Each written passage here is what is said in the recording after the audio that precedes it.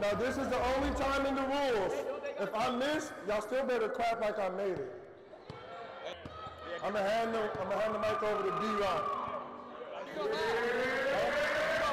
I'm about to just go right now.